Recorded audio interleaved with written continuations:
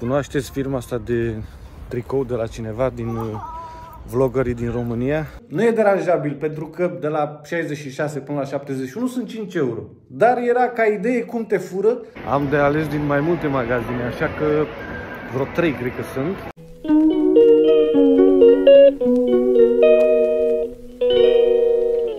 Bună dimineața, bună dimineața! Bine ați venit la un nou video pe, pe plaiuri italiene. Adică pe Alina am luat așa, prin uh, surprindere. Prin surprindere, da. Își face patul curățenie aici. Iar astăzi noi o să avem uh, câteva activități mai casnice, așa ca să da. spun. Bine că am scăpat de cele cu camionul. Sper că nu v-am plictisit cu acel vlog cu camionul, în special pe partea feminină. Alina este pe casă cu treabă, cu curățenie, cu ce își face ea pe aici. Pe... Este sâmbătă la noi. Uh, iar eu o să ies puțin pe... Pe afară.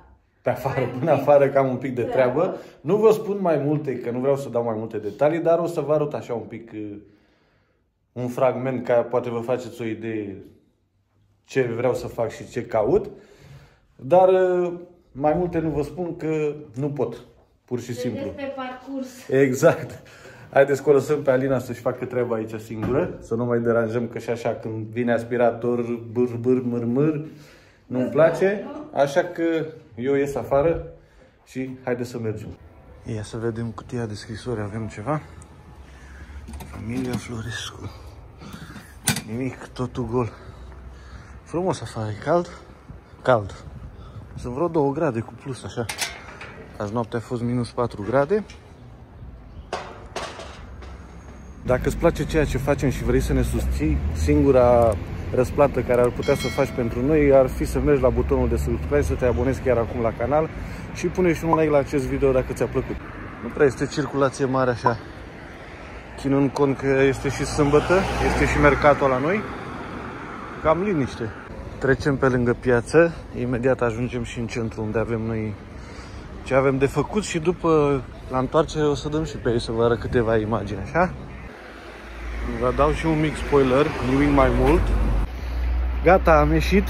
Nu pot să vă dau mai multe informații decât să vă pot spune că am primit uh, niște vești și ceva informații care mi-au dat un impuls de bine, ca să zic așa. De, eu eram un 50% credul către lucrul acesta, dar aici am primit uh, cam un 90% că se poate face lucrurile la care eu eram interesat și sunt interesat să le fac, așa că sperăm un succes. Trecem un minut prin piață să vedem care este atmosfera și după care mergem acasă. Și prima o sună și pe Alina să vedem dacă are nevoie de ceva.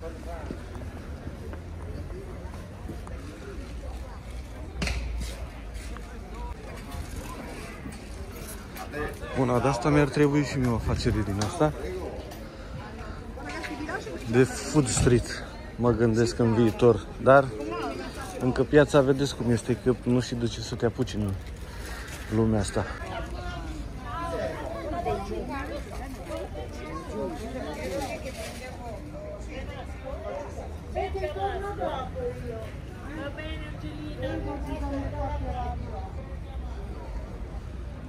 Cam goală piața, e lumea plecată, nu știu ce se întâmplă, e cam pustietate.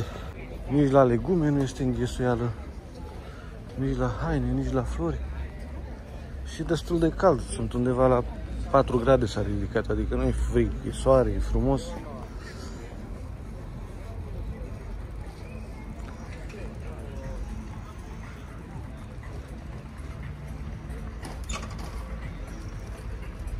Când o să se mai încălzească afară, o să vă fac un video mai complet, așa special, să vă arăt cum arată o piață aici în Italia, un mercato. Cei care sunteți pe aici știți, dar acel video o să-l fac special pentru cei din România care încă n-au ajuns și să vadă și cum se desfășoară o piață aici. Alina a zis că nu are nevoie de nimic, văd că mai târziu se aglomerează, este 10 și jumătate. Am ajuns la mașină, sunt 4 grade, exact cum vă spuneam, 10 și jumătate. Am luat mașina pentru că vreau să mai am treabă să mai merg într-un uh, loc și vreau să vă spun că o să schimb și orariul de postat videourile. Uh, noi de obicei postăm la ora 8 dimineața și miercurea și duminica, dar o să schimbăm, cred că la ora 10, ora Italiei, Asta înseamnă ora 11 ora României. Deci de acum încolo videourile noastre o să ajungă la ora 11 ora României sau ora 10 ora Italiei. Cred că am văzut că dimineața lumea este la muncă, la, nu au timp de YouTube, așa că o să postăm un pic mai târziu pentru că m-am uitat pe orariul care mi-l oferă YouTube-ul, la ce oră am eu vizualizările mai multe și atunci am ales să schimb așa că sperăm să fie mai bine pentru canalul nostru, să ne meargă și nouă mai bine înainte. Mergem într-un loc unde trebuie să-i cumpăr ceva Alinei. Uh, acest lucru ea nu știe, pentru că va fi o surpriză și nici vouă nu vă spun, pentru că voi o să vedeți exact surpriza în vlogul de miercuri la ora 10, cum am spus mai devreme, așa că nu ratați vlogul de miercuri pentru a vedea surpriza Alinei pe care eu o pregătesc. Eu acum merg să cumpăr uh, ce am de cumpărat pentru surpriză, așa că stați aproape de noi că nu veți pierde nimic. Și o să-mi spuneți că cum o să-i faci surpriză, că Alina o să vadă vlogul duminică, înainte de miercuri. Nu o să o las să se uite la video nici pe ea, nici pe Izabela, o să le spun că nu au voie să se uite la acest video de duminică.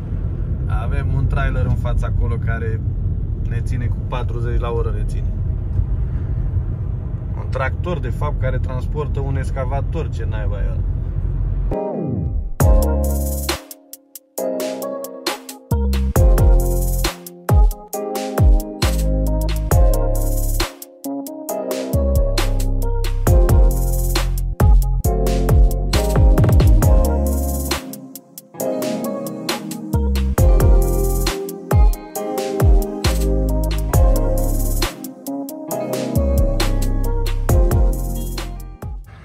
ajuns și la centru comercial unde am nevoie să achiziționez ce trebuie să achiziționez pentru surpriză. Așa că haideți să mergem înăuntru. Cunoașteți firma asta de tricou de la cineva din uh, vlogării din România? Când ajung acasă o să povestesc o chestie bazată pe aceste tricouri luate din România și pe prețul lor.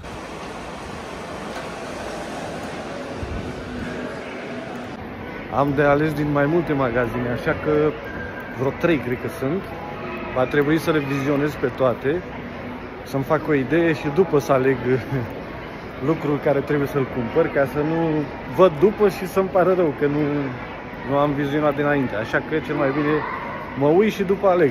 Am rezolvat și problema de care aveam nevoie în sfârșit. Haideți să mergem acasă că Alina săraca cred că s-a săturat de muncă și eu umblu pe aici ca un golan. Dar bineînțeles că ați văzut că umblu cu scopuri frumoase, nu aiure. Misterios acest vlog, dar așa, în această formulă o să pară mai interesant următorul vlog de miercuri. Sper să nu vă supărați pe mine, dar vă aștept la comentarii cu părerile voastre despre chestiile care nu vi le spun, să văd dacă ghiciți despre ce este vorba. Vă aștept la comentarii. Hai că am ajuns acasă la hărnicuță. Ce faci, hărnicuță? Ai terminat? Mai am un pic. Da? Bravo. Un pic, un pic. A făcut pe aici lună, domne. Ia uite, ia totul pus la punct. Da, ce crezi? Ziceam că vă spun istoria la tricourile astea, da? Am văzut uh, la Mariciu, cred că îl știți pe Mariciu, că sigur mulți dintre voi îl urmăriți.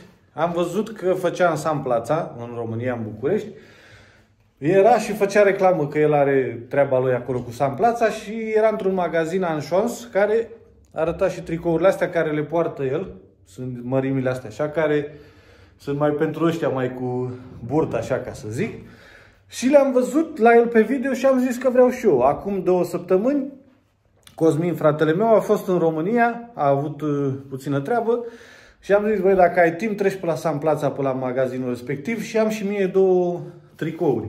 Ideea care este că nu e vorba de reclamă sau de ceva anume.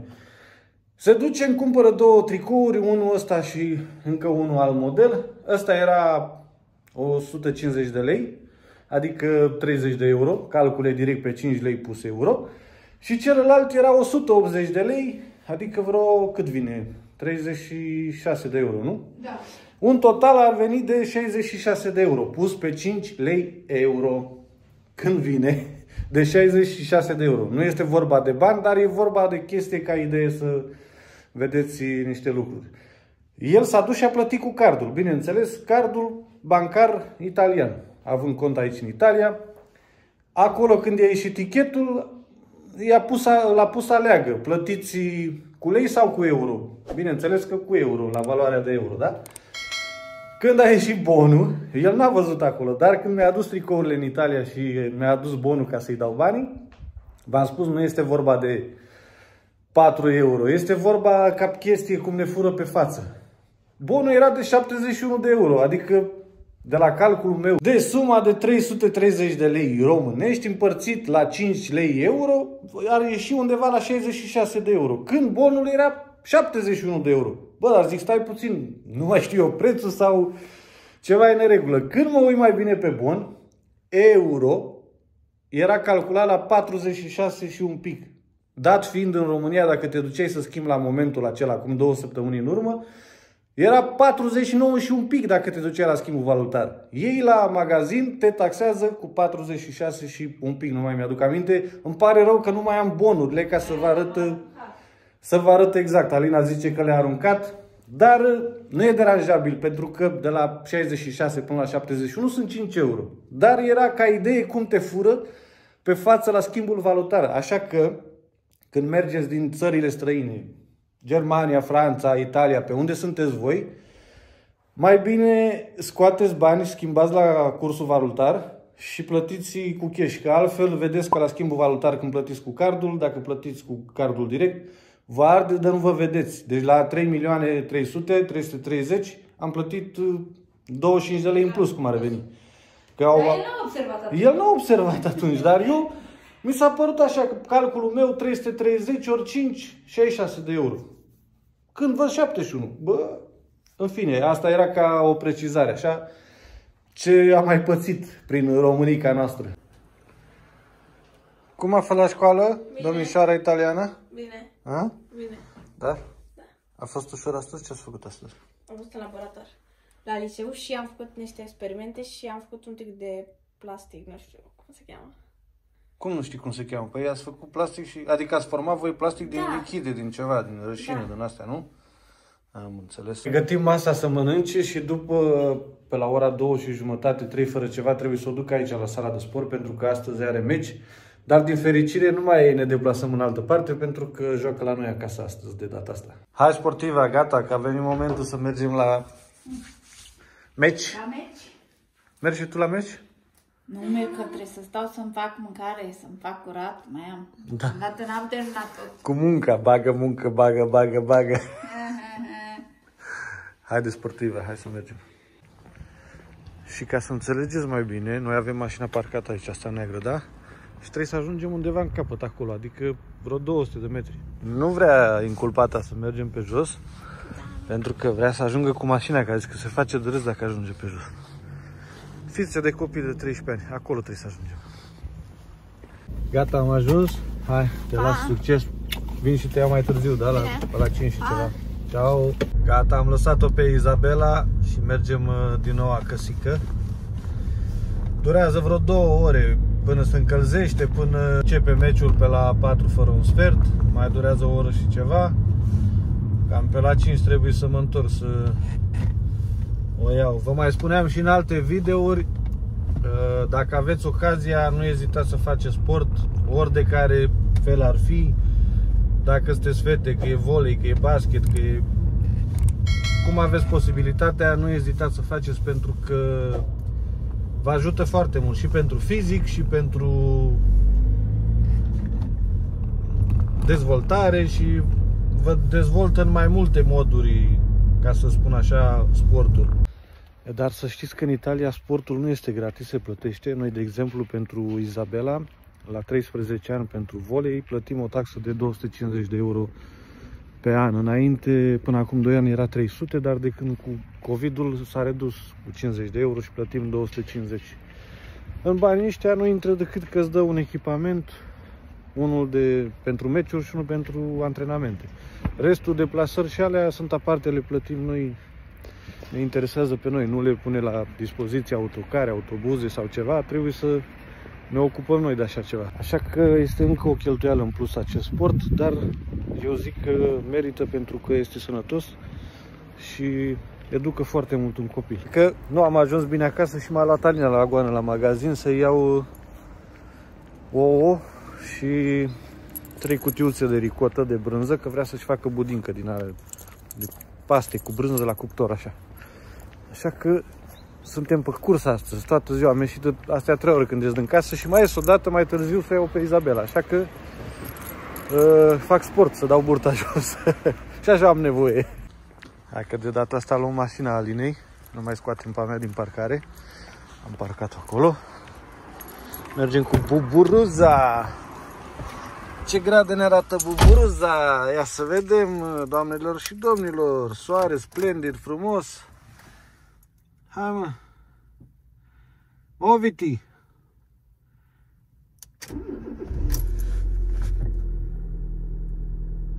Cincisprezece grade, da, nu cred că este atât. 15. Bo. Acolo pe loc bătea soarele în ea, dar în realitate sunt 12 grade. Dar e cald, e bine. Noaptea de vreo 3 zile sunt undeva la minus 3, minus 4 grade, dar mai este în seara asta și după o să-și revină. Nu o să mai fie cu minus noaptea. Mergem să băgăm un pic de GPL, că mașina este pe GPL, cei mai vechi pe aici pe canal știți. Să vă arăt un pic și prețul și un pic de benzină să-i băgăm. Haideți că erau cei de la benzinerie și nu puteam să filmez că, da, știți cum este. Deci sunt 73 de cenți litru de GPL. 1,87 benzina și motorina 1,85. Cam astea, astea sunt prețurile la momentul actual în Italia la carburant. Hai să mergem să luăm și ricota lui pește prăjit cu ouăle. Am luat 3 corneto pentru mine dimineața la colațiune. Și 3 ricota. Suntem în 12 februarie, nu, 11 februarie și în Italia deja au apărut ouăle pentru Paște. În România deja s-au pregătit. Mi se pare cam de vreme aici, la fel ca și cu Crăciunul.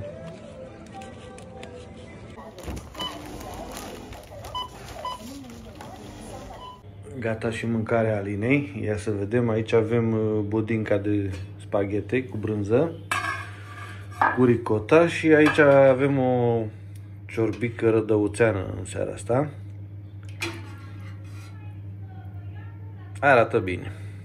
Am venit să o iau pe Izabela, sunt curios ce au făcut. Nu m-am dus să stau la meci pentru că de obicei nu prea îi place să fiu în tribune să mă uit când uh, joacă pentru că a zis că are emoții, nu știu, are o prinde așa, o cuprinde niște emoții de nu poate să joace și atunci fiind aici în oraș la... Ce să aude? De unde ai venit tu nebunule? Ia Mama mie. În fine, și nu poate să joace când suntem noi uh, acolo și ne uităm pentru că zice că cuprinde emoțiile. Dat fiind că a jucat la noi, de data asta am putut să o lăsăm singure. Când mergem în deplasare, trebuie să stăm și noi acolo, că doar nu mergem să ne ieșim afară, să stăm să ne uităm pe, pe câmp, gen. Acum trebuie să iasă și așteptăm să vedem ce a făcut, a câștigat sau a pierdut. Vine, vine și cred că e bucuroasă că vine râzând că au avut o serie de partide care au cam pierdut. Cum este? Am câștigat! Ah, spar gheața în sfârșit după cât timp? După două, trei luni de zile de când Am ați mai bătut venit aici. Am venit, m-am uitat la geam, dar n-am venit în sală, că știi că ție nu-ți place să, să mă uit la tine. Ați câștigat, nu? Cu cât ați câștigat? Uh, am câștigat 3-1. Da? Bravo! Felicitări! În sfârșit sunteți și voi câștigătoare după două Da. luni de zile. Yeee!